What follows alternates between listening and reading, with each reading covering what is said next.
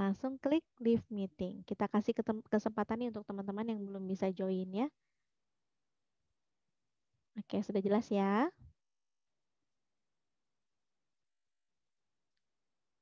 Oke, so, uh, well, hello, let me introduce myself first. My name is Misuchi, and I am the senior trainer of RCK Consulting, and I'm so glad to see you all. Thank you for your attendance in this webinar. So today we are going to discuss about how to do the presentation in English. Okay. ini adalah contoh ketika teman-teman melakukan presentasi dalam bahasa Inggris.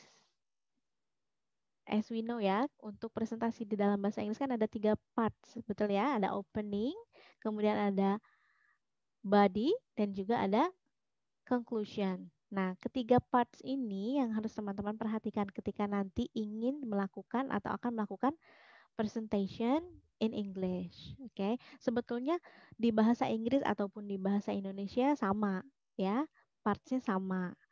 Ini ada openingnya, kemudian ada materi atau isinya, kemudian ada juga kesimpulan atau conclusion. Presentasi yang seperti ini nanti akan dilakukan ketika teman-teman uh, mungkin pada saat nanti meeting gitu ya, meetingnya dengan misalnya kebetulan kliennya orang asing nih, teman-teman sebagai speaker gitu ya, sebagai pembicaranya. Nah, nanti ini akan digunakan nih teknik-teknik ini ya atau part-parts ini nanti akan digunakan ketika teman-teman melakukan presentasi tersebut. Agak sulit ya. Belajar bahasa Inggris susah nggak sih? Susah ya, karena buat kita bahasa Inggris ini adalah bahasa asing atau foreign language. Kalau di negara tetangga mungkin bahasa Inggris ini sebagai first language. Jadi bahasa pengantar dan segala macam ini udah mulai menggunakan bahasa Inggris. Tapi kalau di kita kan tidak ya, bahasa pertamanya bahasa Indonesia, bahasa keduanya bahasa ibu ya, bahasa uh, daerah gitu. Jadi agak sulit nih untuk kita belajar bahasa Inggris. Jadi makanya kalau misal teman-teman ada uh, keinginan untuk bisa belajar bahasa Inggris, yuk dipupuk dari sekarang ya banyak tutorial banyak contoh-contohnya sudah banyak di media sosial kemudian di internet ya di YouTube seperti YouTube Google itu teman-teman bisa akses ya kan nah untuk opening ini di dalam bahasa Inggris ada beberapa expression uh, expression ya yang pertama misalnya di opening kan ada tiga parts juga nih ada greetings kemudian ada introduction kemudian ada mulai masuk memperkenalkan ke si topik yang akan kita bicarakan pada saat uh, presentasi tersebut gitu ya. Misalnya uh, yang sudah saya contohkan tadi di awal gitu ya. Ada salam dulu, sapa dulu. Biasanya di bahasa Inggris ada good morning, ada hello everyone gitu ya. Kemudian thank you for your coming to my presentation atau misalnya seperti yang saya bilang tadi, I'm so glad to see you misalnya gitu ya. Kemudian ada good morning ladies and gentlemen gitu. Oke, okay, itu beberapa contohnya untuk greetings ya untuk memberikan salam dalam bahasa Inggris. Kemudian ada lagi nih untuk memperkenalkan diri nih. Sebelum presentasi jangan lupa nanti teman-teman harus bisa memperkenalkan diri dulu. Oke, okay? misalnya let me introduce myself. My name is Miss Suci. I'm from Jakarta, misalnya gitu ya. Atau misalnya my name is Oza Viranda and I'm from dari mana ya? Dari Jakarta misalnya gitu ya. Boleh juga nih let me introduce myself. Misalnya mau presentasinya berdua nih sama temennya. Kenalin jangan lupa temennya ya. Misalnya let me introduce myself and my partner. I am misalnya Simpson, Simpson, Simpson or Simpson ya ini. I am Simpson misalnya gitu ya. And here is my partner is Putu. Misalnya we are from Bali misalnya gitu ya. Nah, teman-teman nanti ini yang akan digunakan ketika introduction, memperkenalkan diri kita terhadap si audiens tersebut. Jangan lupa ya, jangan sampai terlewat nih. Walaupun misalnya sudah dijelaskan atau sudah diperkenalkan mungkin nanti sama moderator gitu ya, sama MC misalnya gitu. Nah, teman-teman juga uh, tetap nih harus memperkenalkan diri dulu sebelum memulai presentasinya supaya mereka kenal nih sama kita. Kalau misalnya mau menjelaskan lagi, misalnya uh, kita dari mana asalnya, kemudian kita dulu sekolahnya di mana, background pendidikan kita apa silahkan, itu juga boleh ya. Kemudian yang uh, ketiga adalah mulai nih masuk nih nanti kita jelaskan topik atau uh, tujuan kita nih pada saat presentasi ini mau menjelaskan apa, mau membahas tentang apa, gitu ya. Yang seperti saya kasih contoh tadi, uh, for today we are going to discuss about um, how to do the presentation in English, misalnya gitu ya. Hari ini saya akan membahas tentang bagaimana caranya untuk melakukan presentasi dalam bahasa Inggris, misalnya gitu. Atau in this presentation we will discuss about apa. Or I would like to talk about apa gitu ya. Or in this opportunity I would like to present about apa gitu ya. Boleh ya berbagai macam pembahasannya nanti tergantung uh, sama materi yang teman-teman mau uh, mau presentasikan gitu ya. Nah untuk presentasi ini kalau misalnya teman-teman nanti bergelut di dunia marketing presentasi ini akan selalu digunakan ya. Walaupun konteksnya mungkin tidak seformal yang kayak di ruang meeting gitu ya. Di ruang meeting terus uh, benar-benar secara formal banget gitu ya. Kadang juga presentasi dilakukan oleh kita ketika kita misalnya teman-teman mungkin tahu yang kerja seperti SPG gitu ya marketing yang datang-datang ke rumah-rumah gitu ya atau misalnya uh, seperti marketing perumahan gitu kan mereka kan sebetulnya setiap hari itu melakukan presentasi benar nggak setiap hari melakukan presentasi. Mereka menjelaskan nih produk-produk yang akan mereka jual ini apa. Nah, ini bisa kita contoh nih. Tapi ini dalam bahasa Indonesia ya. Nah, ini bisa kita contoh caranya mereka berkomunikasi sampai akhirnya kita kok tertarik ya mau beli uh, produk mereka gitu. Nah, ini yang teman-teman bisa ambil nih ilmunya, kita curi-curi ilmunya ya. Kok bisa sih mereka uh, cuma misalnya ayo Pak, dibeli nih, ini produk minuman terbaru dari kita. Ini produknya misalnya mengandung bla bla bla bla bla. Ini berhasiat banget nih untuk uh, tubuh kita, apalagi di masa pandemi misalnya gitu ya. Kan kadang kalau misalnya mereka berbicaranya dengan cara yang apa ya, menarik gitu ya, kita kan juga nanti otomatis oh ya mau deh coba misalnya gitu ya. Walaupun hanya cuma beli sekali aja misalnya gitu ya cuma beli satu kali saat itu saja ya nggak masalah. Tapi setidaknya uh, tujuan si marketing ini atau si SPG ini atau si penjual ini sudah tercapai benar nggak? Mereka yang penting udah kejual nih produknya. Mereka berhasil menarik konsumen gitu ya untuk akhirnya membeli produknya gitu. Oke? okay? Emang agak sulit uh, agak sulit ya kalau apalagi untuk kita yang memang jarang banget ketemu orang. Biasanya kalau ketemu orang ada juga nih rasa groginya, bener nggak? Apalagi orangnya yang baru kita kenal. Nah, kalau di marketing ini nggak boleh nih, ya kan? Nggak boleh malu-malu, nggak boleh minder. Pokoknya harus pede, terus harus benar-benar menguasai nih kira-kira produk yang akan dijual ini apa. Spesifikasinya ini harus tahu. Keunggulan dan kelemahannya juga harus tahu. Jadi ketika nanti kita misal udah terjun langsung nih menjual ketemu konsumen, ketemu klien, kita nggak lagi uh, apa ya gugup gitu ya, nggak lagi aduh apa ya ini apa ya kelebihannya, nah nggak lagi kayak gitu gitu ya. Jadi udah tahu betul oh ini Pak, misalnya ini minuman terbaru, minuman ini berhasiat sekali, ini mengandung vitamin bla bla bla, misalnya mengandung khasiatnya bla bla gitu ya. Jadi udah enak nih ngomongnya gitu kan sampai akhirnya membuat si konsumennya mau beli gitu. Susah ya? Susah nggak sih? Susah kalau nggak dilatih ya, tapi kalau misalnya teman-teman sering berlatih, itu nanti akan secara tidak langsung menjadi terbiasa gitu ya. Kemudian nah, tadi sudah menjelaskan nih, kita balik lagi ya ke presentasi ya. Tadi udah menjelaskan misalnya I would like to talk about apa gitu ya untuk di presentasi tersebut. Kemudian nanti jangan lupa nih ketika teman-teman menjelaskan si materinya ini harus betul-betul dikuasai harus paham betul nih apa sih yang mau kita bicarakan di dalam presentasi ini. Kalau misalnya teman-teman sudah paham dengan teknologi, boleh pakai slide ya. Boleh pakai uh, pakai slide. Jadi slide ini sebetulnya membantu juga nih ketika kita misalnya lupa gitu ya. Kalau lupa kan nanti kita bisa lihat ke slide-nya. Tapi jangan terus terusan ngelihat ke slide gitu ya. Nanti yang dikhawatirkan apa? Partisipannya atau audiensnya nanti kabur ya kan? Nggak mau karena kita terus ngebaca gitu ya bukan presentasi. Jadi kita judulnya baca nih baca si slide tersebut gitu ya. Nah akhirnya mereka bosan kan. Kalau udah bosan pasti mereka cari kegiatan lain kan. Misalnya pergi keluar gitu ya. Nanti pas udah mau selesai presentasinya baru deh mereka masuk lagi. Ada nggak yang kayak gini? Kalau presentasi kan biasanya gitu ya.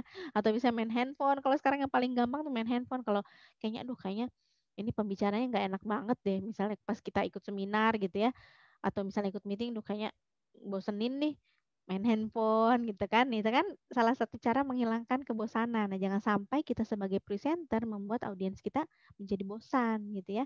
Jangan lupa nanti kasih ice breaking gitu ya kasih uh, apa ya humor gitu ya di, di sela-sela presentasinya supaya mereka juga nggak bosen gitu. Karena kalau misalnya teman-teman kayak sekarang nih saya menjelaskan nih kayaknya udah ada yang gelisah-gelisah gitu ya. Ada yang udah tengok kanan kiri ada udah yang lihat ke bawah nih berarti oh kayaknya udah mulai bosen nih. Apa yang harus saya kasih ya supaya nggak bosen? Oke kita coba ya. Kita coba ya. Saya mau coba nih satu orang aja ya. Untuk kasih contoh nih ke kita presentasi menggunakan bahasa Inggris. Oke, siap ya? Mau saya tunjuk atau mau menawarkan diri ini? Yuk, latihan yuk. Jangan langsung dimatiin kamera videonya, tenang aja. Nggak apa-apa kok. Ini langsung dimatiin loh kamera videonya, padahal saya mau tunjuk tadinya nih. Yuk, dinyalain yuk kamera videonya yuk, supaya terekam juga nih wajah teman-temannya. Jadi nanti mudah diverifikasi. Jadi nggak eh, kalau misalnya suatu saat ada ke depan ada masalah gitu ya, kita punya buktinya nih untuk bisa nanti diverifikasi gitu. Saya mau ke Mas Putu boleh? Silahkan di unmute nih Mas Putu mic-nya.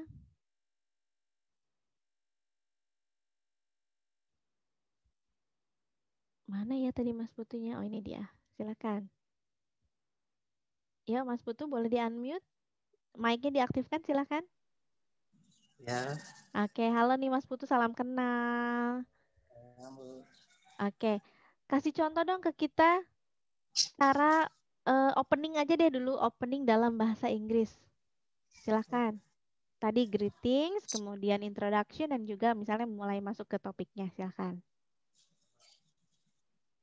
My name is Putu Arianta. Greetings dulu from... dong. Greetingsnya kelewat. Maksudnya? Greetingsnya, uh, salam dulu, salam dulu. Uh, good afternoon. Okay. My, my name is Ibu Arianta. Okay. I'm from Bali. Okay, you're from Bali. And then, what are you going and, to discuss? And uh, technique marketing teknik marketing. Apa nih teknik marketingnya? Oke, mohon maaf nih sebelumnya nih. Uh, saya panggilnya apa ya? Beli ya. Udah pernah bekerja? Sudah, ya. Sudah pernah?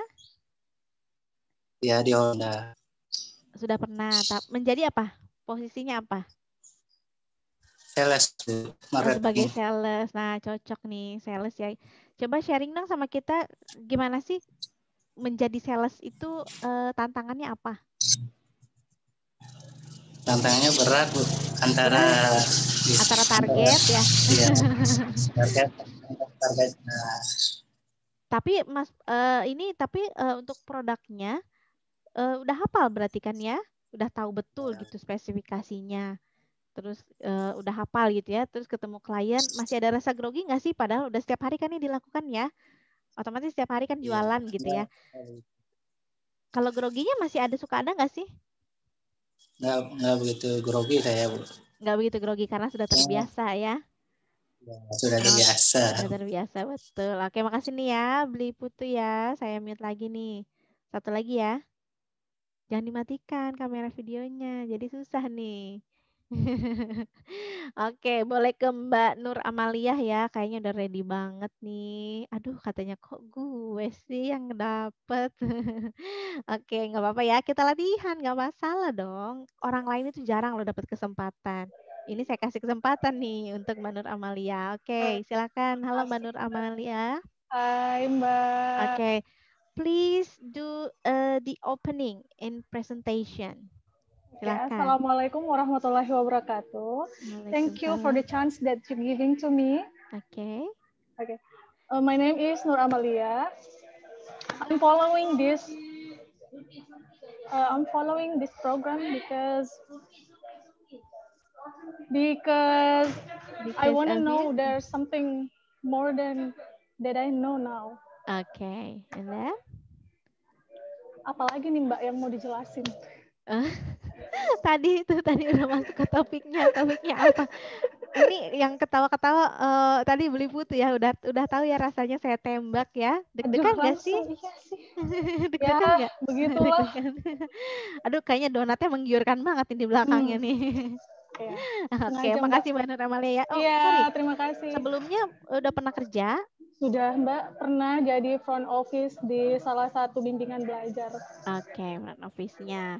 Ini Iya. juga sama ya, harus tahu ya, harus tahu di dalam bimbingan belajar itu ada apa aja gitu kan. Nanti iya, kan otomatis betul. Iya. kayak saya misalnya pertama kali datang ke tempat mbaknya, misalnya saya mau tahu nih di sini ada apa aja sih gitu ya. Iya, harus bisa saya lebih tahu ikuti. semuanya, lebih tahu Betul. detailnya. Mm-mm.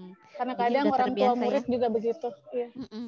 Jadi udah terbiasa ya ngomong ketemu orang gitu kan. Iya, kalau Heeh. ngomong bahasa Indonesia sih enggak masalah. Yang masalah itu kalau kadang kita kurang kepercayaan diri untuk bicara memakai bahasa Inggris. Betul. Karena Iya, takut betul. salah ya iya, kan. tapi iya, betul sekali Mbak. Itu itu sih Takut kendalanya salah. kalau kita takut salah untuk eh, bicara bahasa Inggris, apalagi Iya. sama native speaker. Padahal native speaker Betul. kan sebenarnya tidak memperdulikan eh, Grammar. grammar, betul, Betul, sekali. iya. Tapi orang justru orang lokal yang lebih memperdulikan grammar. Betul. Jadi kadang kita lebih takut untuk bicara sama orang lokal daripada orang luar. sama orang asing ya. Betul, iya, banget, betul betul, sekali. betul banget. Oke, makasih Mbak Nur Amalia sharingnya Iya. ya. Bener banget ya. Kita malah lebih takut ketemu sama orang yang eh apa ya? Yang orang Indonesia gitu ya, tapi belajar bahasa Inggris mungkin ya, udah pernah atau apalagi udah pernah tinggal di luar negeri misalnya gitu. Nah, kan kita melihatnya kayaknya wah, wah banget nih, keren banget nih orang nih, udah udah pernah tinggal di luar negeri, otomatis dia pintar banget ngomong ngomong bahasa Inggrisnya gitu ya. Nah, ini juga sama nih yang akan membuat kita sedikit down gitu ya, agak jiper nih kalau ketemu ya kan. Ayo ngaku. agak atau nggak usah nggak usah bahasa Inggris dulu deh, bahasa Indonesia aja misalnya kita mau jualan, kayaknya kita ketemu kayaknya dia lebih kan kita bisa lihat ya, tipikal orang yang kayaknya aduh kayaknya nih orangnya pinter deh misalnya gitu ya. Makanya dia kayaknya pengetahuannya lebih banyak daripada gue. Itu juga sama nih, kadang membuat kita down gitu ya. Nah, rasa down atau rasa ketakutan ini memang ya kalau ketakutan berbicara di depan umum atau bertemu dengan orang ini menjadi ketakutan yang nomor satu loh dibandingkan kematian. Percaya nggak? Jadi kita tuh lebih takut untuk berbicara di depan orang gitu dibandingkan kita menghadapi kematian gitu kan ya. Jadi teman-teman gimana caranya untuk kita bisa melawan nih supaya kita bisa mentolerir gitu ya rasa tidak percaya diri tadi, kemudian kayaknya takut gitu ya kalau mau ngomong bahasa Inggris tuh takut. Belum juga coba tapi udah takut duluan gitu kan. Nah, ini gimana caranya? Caranya tidak ada lain dan tidak bukan, teman-teman harus sering berlatih. Karena dengan berlatih, nanti secara tidak langsung sedikit banyak akan mem- mempengaruhi juga nih rasa percaya diri kita dalam berbicara. Gitu ya. Memang kalau untuk di eh, secara grammatical rules itu memang kita orang Indonesia itu betul-betul terpatok sama itu ya. Karena itu tadi buk, ini bukan bahasa kita, bukan bahasa yang kita gunakan sehari-hari. Coba deh teman-teman perhatikan bandingkan dengan bahasa Indonesia. Bahasa Indonesia apakah kita berbicaranya sesuai dengan SPOK gitu ya? Sesuai nggak sih? Kadang kan kalau kita apalagi udah nyambung ke bahasa daerah, ini udah deh bubar ya, grammarnya bubar gitu kan. Tapi mereka ngerti nggak apa yang kita omongin? Kayak saya sekarang ngomong nih, teman-teman ngerti nggak? Gitu ya, gitu loh bedanya. Nah, kalau kita misalnya secara grammatical itu mungkin terlihatnya terkesan baku gitu ya. Kalau di bahasa Indonesia kayaknya baku banget sih. Kamu mau ke mana misalnya gitu ya. Atau Anda, Anda mau ke mana misalnya gitu kan. Itu, itu kan yang versi bakunya dari bahasa Indonesia. Nah, bahasa Inggris juga sama nih. Kalau kita misalnya eh, mengikuti, kenapa sih harus ngikutin grammar gitu kan? Karena itu patokannya, karena ini bukan bahasa kita sehari-hari. Jadi kita harus tahu dulu nih yang betulnya seperti apa yang sesuai dengan grammar. Jadi supaya nanti kita ketemu native, walaupun misalnya kita terlihatnya kaku, kita tuh dilihat mereka tuh kaku loh. Karena benar-benar sesuai banget nih sama grammar gitu ya. Padahal mereka nggak membutuhkan itu juga. Yang penting kalau bahasa kan gini loh. Lu ngerti, gue ngerti, ya udah beres gitu ya. Bener nggak? Lu ngerti, gue ngerti mah ya udah. Grammar tuh udah nggak ada nggak ada artinya lagi lah gitu ya kasarnya ya. Tapi kita sebagai eh, sebagai orang Indonesia yang memang bahasa Inggris ini menjadi apa ya bahasa asing, wajib tahu dulu nih si grammarnya, wajib tahu dulu yang betulnya seperti apa gitu. Tadi contohnya berdua nih udah oke ya. Tinggal dilatih lagi nih apalagi eh, teman-teman yang nanti mungkin akan melamar di perusahaan yang berhubungan dengan tenaga asing misalnya gitu ya atau perusahaan asing. Nah, silakan nih kembangkan terus, latihan terus ya. Nggak bisa nih latihannya cuma sehari. Ya kan harus harus terus diulang lagi karena kayak kita nih, kayak kita misalnya apakah dari lahir kita langsung bisa ngomong? Kan enggak ya. Benar nggak? Babbling dulu, ayo, ayo, ayo, nanti baru belajar satu kata demi kata, belajar e, bikin kalimat, baru tuh kita nanti bisa bicara gitu kan. Nah ini juga sama nih berlaku untuk bahasa Inggris. Jadi teman-teman harus berlatihnya terus yuk setiap hari. Begitu ingat, oh ini ngomong bahasa Inggris, cobain ngomong bahasa Inggris terus aja gitu. Karena bahasa Inggris ini memang agak sulit untuk kita, untuk orang Indonesia gitu ya. Karena kita tidak terbiasa itu sih masalahnya. Tapi kalau kita sudah terbiasa, ini nanti coba deh bergaulnya sama teman-teman yang mungkin uh, bisa bahasa Inggris juga gitu ya itu lebih enak nanti akan bisa melakukan latihan dengan komunikasi menggunakan bahasa Inggris gitu ya dibandingkan dengan yang tidak menggunakan bahasa Inggris. Coba deh terus dilatih ya. Saran saya itu tadi ya silakan latihan kemudian teman-teman yang paling klasik di depan cermin dulu deh.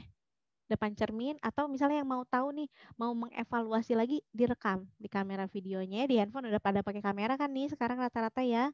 Jangan dipakai buat joget-joget aja coba pakai untuk speech ya bikin pidato atau baca teks bahasa Inggris atau dengerin lagu bahasa yang paling gampang gini dengerin lagu bahasa Inggris cari teksnya sambil didengerin sambil baca teksnya setelah itu teman-teman rekam rekam nih ngomong baca teks tadi direkam nanti ketahuan deh cara berbicara kita seperti apa. Pasti nanti ketawa-ketawa. Oh, ternyata ngomongnya gini ya. Oh, gini ya. Silahkan dicoba ya.